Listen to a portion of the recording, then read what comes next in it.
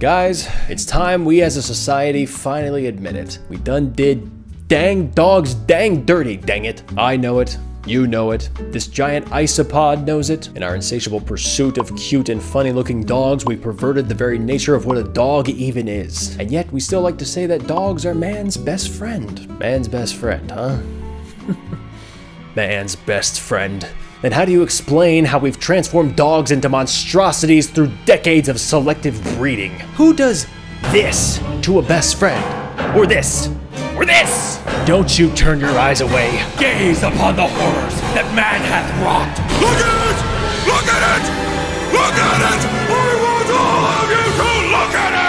These aren't dogs, they're mutants. And not cool mutants with superpowers like the X-Men, unless you count having your skin melt off your body as a superpower. Now, I'm not the first one to address this. The deformities that result from dog breeding is a well-trodden topic. Why, all the way back in 2014, there was an Adam Ruins Everything video about the cruelty of purebreds. That was 10 whole years ago. but last I checked, these beasts still walk among us, so clearly there needs to be an occasional reminder that we're screwing dogs six ways from Sunday. So let's run through some of the more egregious examples. First off, we've got the pug pug, a breed so inbred and deformed that, and this is not a joke, researchers have determined it can no longer even be considered a typical dog, which I think we all kinda knew deep down based on the way it looks. Dude, every time I see a pug's face, it takes me 10 seconds to figure out what I'm even looking at. If you could even call this prism of non-Euclidean geometry a face, it's just a labyrinth of flesh and sadness. Actually, fun fact, if you look at a pug's face under a microscope, there's a tiny minotaur wandering through its skin folds at all times. And that's a fact. Vets will say that it's not true, but they're lying.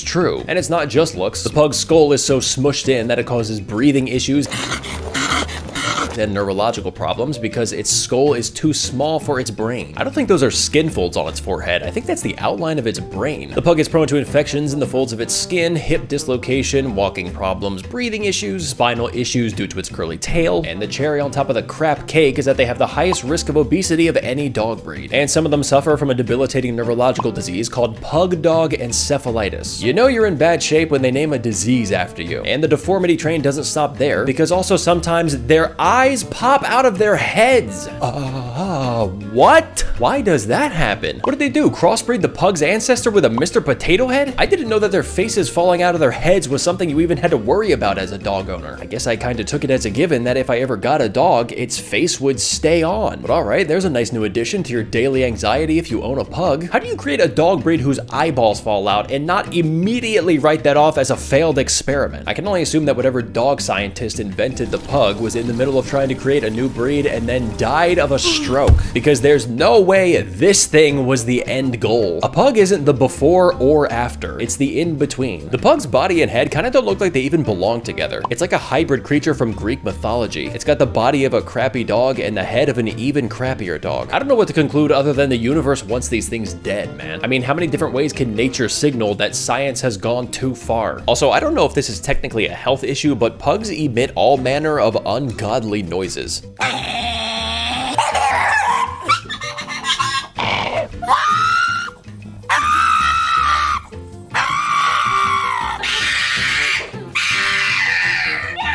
This is what I imagine ancient creatures from the Mesozoic era sounded like. A lot of people don't even know that the pug is the result of decades of selective breeding. They think it's just like a naturally occurring subspecies of dog, which I don't know how you can think this is a naturally occurring specimen in the animal kingdom. You thought this was the result of survival of the fittest? A pug wouldn't last 10 minutes out in the wild.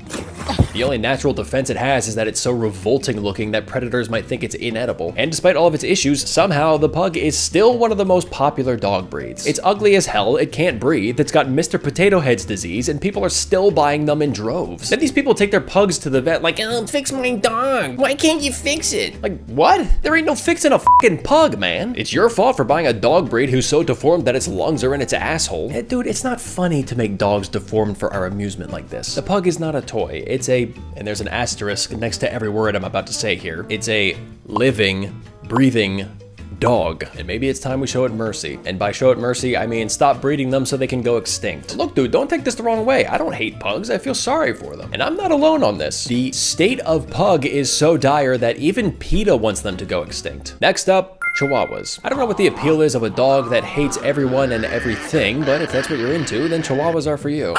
They're always topping the lists of most aggressive dog breeds. It seems like all they want to do is bite your fingers off. If fact, if you go to the pet food aisle of a store, the Chihuahua food is just a bag of fingers. Thank God they're too tiny to kill us, or else they'd be the greatest threat to mankind. And like, what's the one thing everyone wants to do when they see a dog? Pet it, right? They want to pet the dog. And you stupid breeders made a dog that doesn't want to be pet. But you don't even have to be interacting with the Chihuahua to make it angry. It'll get mad at you just for existing. Hey, What I, what I do? he didn't do anything to you. You know what? I don't even want to pet these things. If you ask me to pet your chihuahua, I'm gonna say no. Yeah, I'm glad you could finally visit, man. So this is our home. Um, this is our dog, Buddy. Oh, hey, buddy. Someone's not in a good mood. oh, he might seem a little grumpy, but he's fine. His bark is worse than his bite. You can pet him. Yeah, I don't think so. Come on, pet him. You know what? I'm good, actually. I'm good. I think he's good, too. He seems like he doesn't want me to pet him. Oh, he does that. He acts all tough, but really he's just a sweet little guy. Come on, pet him. No, I, I don't think so. He seems really angry. Oh, well, pet him and he'll be fine. Pet him. No, I don't. I don't want to. Pet him. Pet him. No, no, I don't want to pet him. Pet him. Pet the dog. I'm not gonna pet, Pet him. Pet Buddy. Pet, Buddy. him. Pet I'm the not dog. petting that pet dog. Him. Pet Buddy. Pet Pet, Buddy. the dog. Pet Pet him. him. well, we spooked him.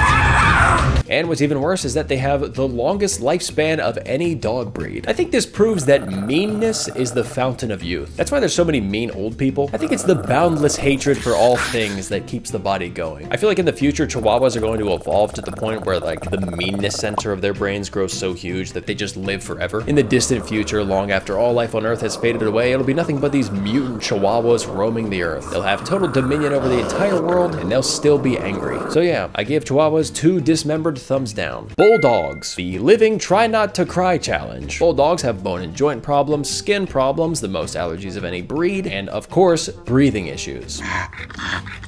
The bulldog looks awful, sounds awful, and suffers from excessive gas, so it also smells awful. It's truly an assault on all the senses. And difficulty breathing means difficulty panting, so they're prone to overheating. I feel like I'm suffering just watching these things. And then some people have the audacity to call their bulldog lazy. Oh, my bulldog's lazy. He doesn't want to walk. Lazy? Hey, maybe it needs a break from constant agony. You'd want to chill out too if every physical movement caused you to almost die of heat exhaustion. Hey, you think they want to just lay around all the time? They want to frolic through fields and chase squirrels and ride skateboards and mostly ride skateboards. There's a lot of bulldogs riding skateboards for some reason. It's kind of a thing. I'm not really sure why. Bulldogs are like the Tony Hawk of the dog world. I guess you could say they're the Tony Dog.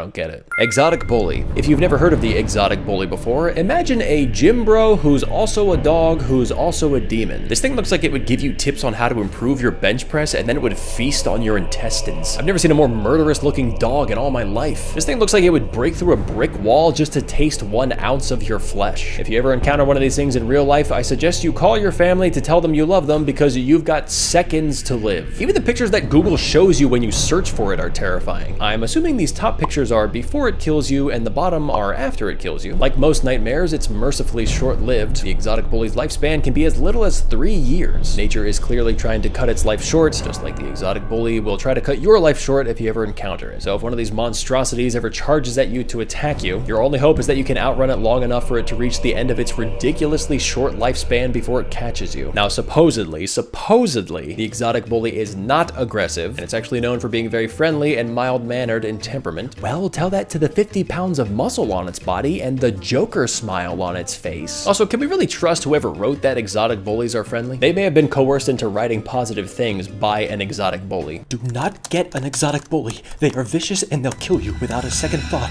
And oh, hey there, champ.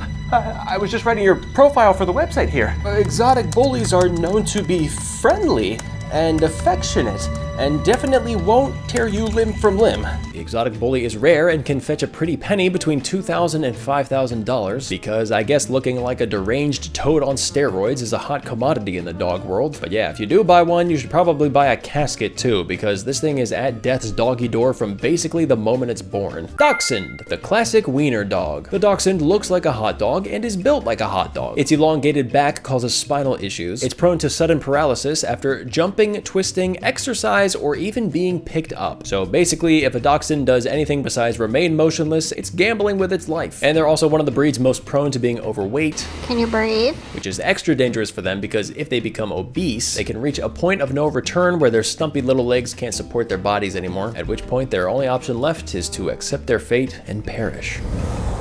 Just goes to show a thick wiener isn't always a good thing. Great Danes. What can you say about Great Danes? Except that they're so full of love, their hearts are just too big. Literally.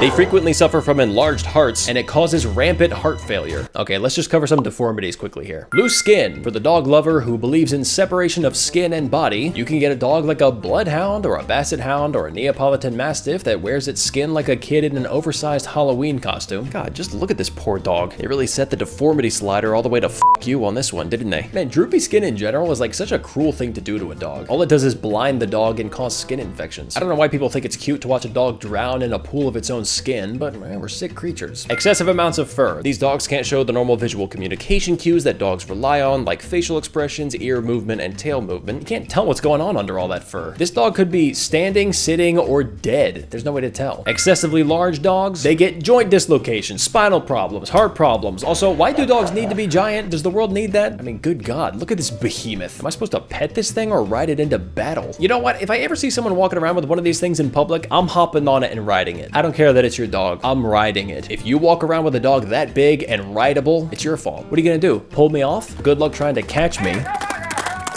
Okay, this video is getting a lot longer than I originally intended. I'm just gonna do a quick lightning round of various breeds that I wanna complain about. I don't know if these dogs are natural breeds or purebreds or what. English Toy Spaniel. There's stiff competition in the flat face Olympics. This dog's skull is so small, it could probably taste its own brain. Biewer Terrier. I think this dog is born with a bow tie or a hair clip on its head because I've never seen it without one. Also, the cuteness is offset by the fact that it looks like the old guy from Kill Bill. Chinese crested. This thing's head needs to tell its body that it's supposed to be furry because clearly it didn't get the memo. This looks like something from the Dark Crystal. Bedlington Terrier. Hey, either be a dog or be a sheep. Pick one. Bull Terrier. Looks like the bully from A Christmas Story. Borzoi. You're not real. Nova Scotia Duck-Tolling Retriever. Don't make your name your entire life story. Get a shorter name. Staffordshire Bull Terrier. Get a smaller head. Get more fur. Get less fur. Get, get, get a, get out. Just get out of here. Go. And then we have extinct breeds like the Kurī that died out many years ago, which thank God for that. Okay, now quickly, just as a reminder of what a natural dog breed looks like, let's take a look at the Canaan, a breed that has been largely genetically untouched by mankind. Look at that.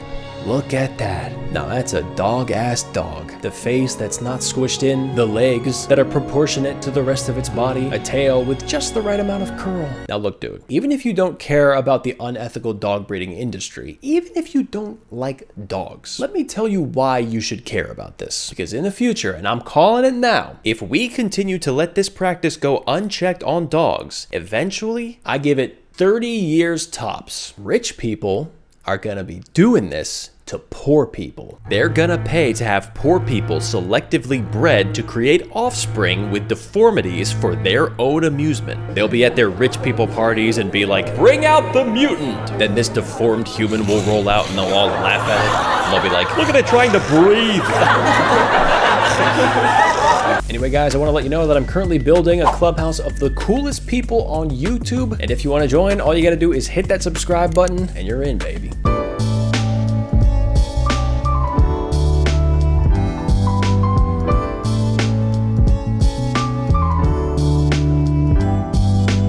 Czechoslovakian Vlčák. I mean, this is a wolf, right? It's a wolf